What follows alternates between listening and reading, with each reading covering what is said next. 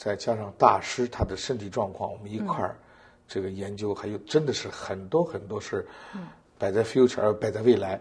那么我们现在目前要做的就是脚踏实地，就是当停下，当你这个就是活动没有开展之前，就是有很多筹备工作，嗯，呃，就是需要我们去现在去努力的去做。那在这边会不会呃，比如说开班，像呃二零零六年一样，呃大师过来哈，这个巴冈斯巴冈斯大师过来的时候，也是呃指点了几位学生，大概有十，我记得有十多位哈学生，有一段时间，然后呢，从第一天到最后一天成果发表的时候，大家都进步好多。未来是不是有这种机会？呃，我们在考虑是的，还还要再应该，因为我们看到有受益了，的确是，呃。很多学生是真的是很优秀，他们肯学也好学，所以我们这是 non-profit，就是我们不呃叫不收这个什么玩意儿，就非盈利了，非盈利的这个呃我们这个机构，所以能够给这些呃就是家庭情况不太好的，但是事业心很强的这些学生们，我们会一定会想办法给他提供方便的。嗯哼。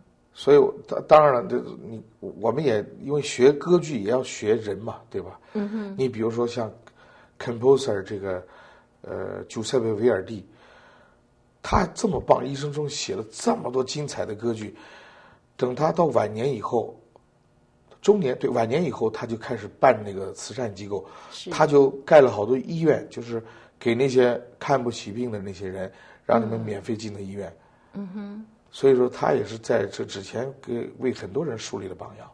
嗯，对。那么，所以呢，结合这个艺术和慈善，然后的艺术中心也可以做很多事情。对对。嗯，其实，在今天呃，在邓大师的介绍之下呢，我们对。歌剧有了一些认识，也觉得这是一件很有趣的事情啊。那么也是希望说，像比如说流行音乐起来之后呢，大家可能每天啊听的都是流行音乐，但是呢，有很多的古典音乐，它的美、它的文化、它的深度呢，也都是不一样的，是我们可以另外去欣赏的一个领域哦。也是希望在这个艺术中心啊，天使艺术中心的推动之下，还有邓大师啊的推动之下呢，我们这边有很多对古典音乐有兴。兴趣的朋友呢，也可以进入呃，继续来深入这个领域。那也希望艺术中心未来可以举办更多的活动。那么我们最后呢，来欣赏一段邓大师的表演。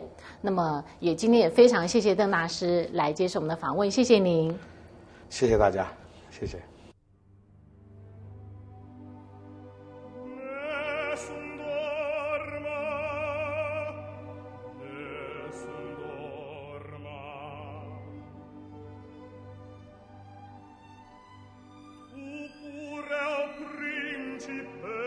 stessa nella tua fredda stanza guardi le stelle